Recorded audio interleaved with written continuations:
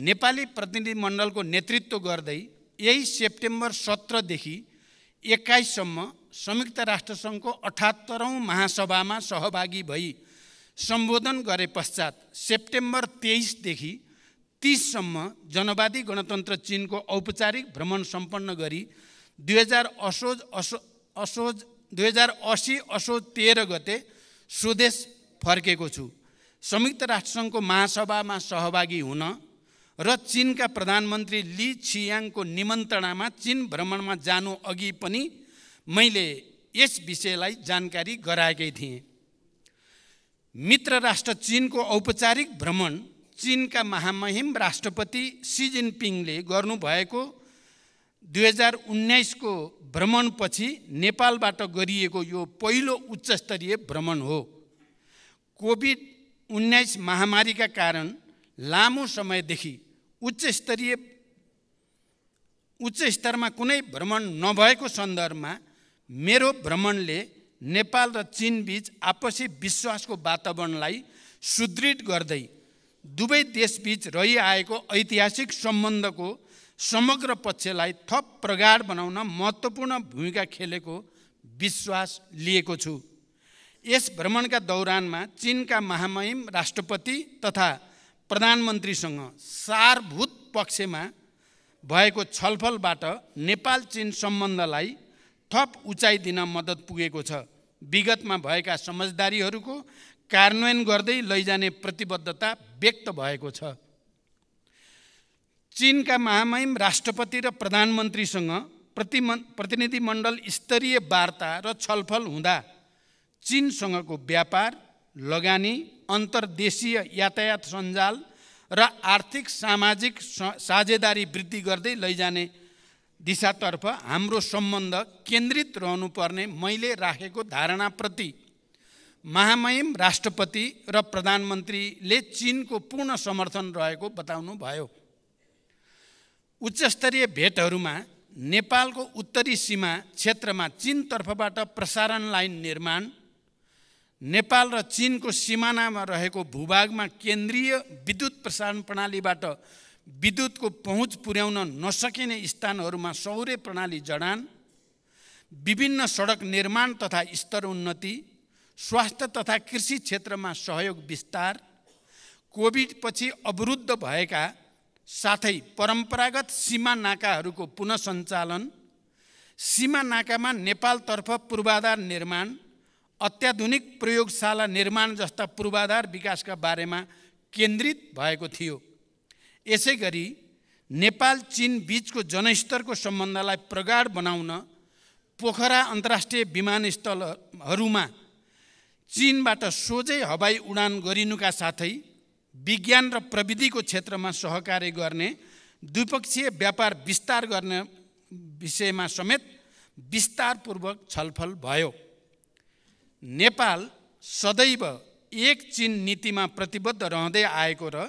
नेपाल चिन बिचको सम्बन्ध पञ्चशीलको सिद्धान्त असल मित्रता आपसी साझेदारी र सम्मान तथा अन्तर्राष्ट्रिय मूल्य मान्यता र कानुनमा आधारित रहेको पृष्ठभूमिमा भविष्यमा यो सम्बन्धलाई थप उचाइमा लैजाने दिशातर्फ दुवै पक्षले गर्नुपर्ने कार्यका बारेमा गम्भीर विचार विमर्श भयो। चिन भ्रमणको समयमा चिनको हाङजाउमा विभिन्न देशका राष्ट्र प्रमुख र सरकार प्रमुख एवं उच्चस्तरीय प्रतिनिधि समेतको उपस्थितिमा चिनका महामहिम राष्ट्रपतिले गर्नुभएको उद्घाटन समारोहमा सहभागी भई नेपाली खेलाडीहरूको हौसला बढाउने अवसर पनि प्राप्त भयो। हाङजाओ र बेइजिङमा भएका बैठक र छलफलका अलावा चिनको छोङछिङ चिनको सुशासित क्षेत्र तिब्बत र छेन्दुको समेत भ्रमण गरी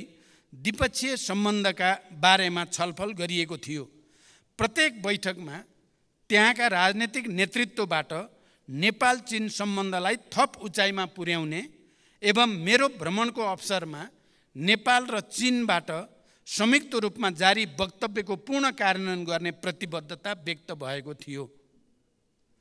यसका साथै चिनको जनकाङ्ग्रेसका अध्यक्षसँगको भेटमा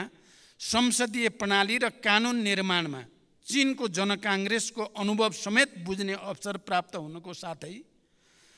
आपसी सहयोग आदान प्रदान गर्ने विषयमा समेत गम्भीर छलफल भयो। चिन भ्रमण अघि मैले संयुक्त राष्ट्रसङ्घको चालु अठहत्तरौँ महासभामा सहभागी भई उच्चस्तरीय सत्रको जेनरल डिबेट सामान्य बहसमा नेपालको तर्फबाट सम्बोधन गरेको थिएँ। यस सम्बोधनमा मैले प्रमुख रूपमा नेपालको शान्ति प्रक्रिया र त्यसलाई ठोस निष्कर्षमा पुर्याउन अन्तर्राष्ट्रिय समुदायको सहयोग जलवायु परिवर्तन तथा यसले गर्दा नेपाल लगायत अल्पविकसित देशहरूमा परेको नकारात्मक प्रभाव र त्यसका निराकरणका उपायहरू हिमाली राष्ट्रहरूका समस्या दिगो विकासका लक्ष्यहरूको प्राप्तिमा अल्पविकसित राष्ट्रहरूका समस्या प्रस्तुत गर्दै ती समस्या समाधानमा साधन स्रोतको व्यवस्थापनका लागि विश्व समुदायको गम्भीर ध्यान आकर्षण गराएको छु। यसै गरी अति कम विकसित तथा भूपरिवेष्टित राष्ट्रका समस्याहरूप्रति विश्वको ध्यानकर्षण गराउँदै ती राष्ट्रहरूको विकासका लागि अन्तर्राष्ट्रिय सहयोग प्रविधि हस्तान्तरण र लगानीका माध्यमबाट गरिबी तथा असमानता हटाउँदै जानुपर्ने विषयमा मैले विशेष जोड दिएर राखेको छु। साथै समकालीन विश्वका प्रमुख मुद्दाहरू मानवाधिकार निशस्त्रीकरण आतङ्कवाद बारे नेपालको दृष्टिकोण पनि प्रष्ट शब्दमा प्रस्तुत गरेको छु। महासभाको मूल सत्रका अलावा दिगो विकास सम्बन्धी शिखर सम्मेलन एसडिजी समिट जलवायु सम्बन्धी शिखर सम्मेलन क्लाइमेट एम्बिसन समिट महामारी रोकथाम तयारी र प्रतिकार्य सम्बन्धी उच्चस्तरीय बैठक high level meeting on pandemic prevention preparedness and response विकासका लागि वित्त सम्बन्धी उच्चस्तरीय सम्बन्ध संवाद high level dialogue on financing for development स्वास्थ्य सम्बन्धी high level meeting on universal health coverage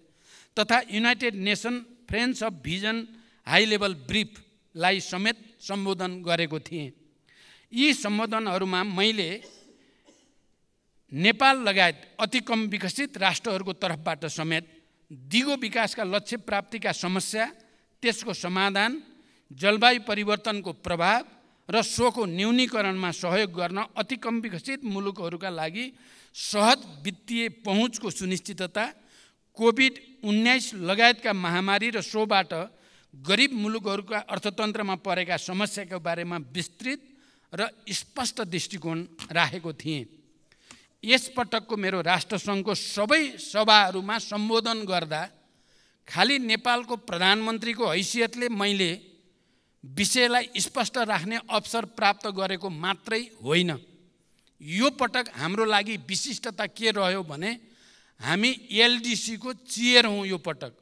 सत्तालिसवटा कम विकसित देशहरूको अध्यक्षको हैसियतले प्रत्येक सभामा सम्बोधन गर्ने विशेष अवसर पनि नेपाललाई प्राप्त भयो र त्यो अवसरको हामीले अधिकतम सदुपयोग गरेको जानकारी पनि म गराउन चाहन्छु। संयुक्त राष्ट्रसङ्घको महासभाकै दौरानमा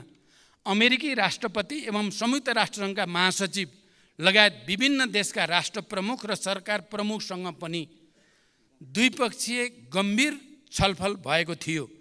मैले र प्रतिनिधिमण्डलका सदस्य माननीय परराष्ट्र मन्त्रीले संयुक्त राष्ट्रसङ्घका सम्बन्धित अधिकारीहरूसँग गरेको छलफलमा शान्तिकर्मीहरूको सुरक्षा बन्दोबस्तीका लागि भएको खर्चको समयमै शोध भर्ना तथा निकासा लगायत नेपालले गरेको अटुट र उच्च तहको योगदानको कदर स्वरूप जिम्मेवार तथा उच्च पदहरूमा नेपालको समुचित प्रतिनिधित्व हुनुपर्ने विषयलाई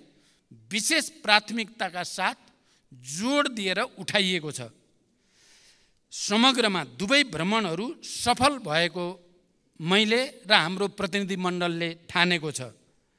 चिनको भ्रमणले झन्डै चार वर्ष लामो नेतृत्व तहबाट एक अर्का मुलुकमा भ्रमण नभएको स्थितिको अन्त्य भएको छ।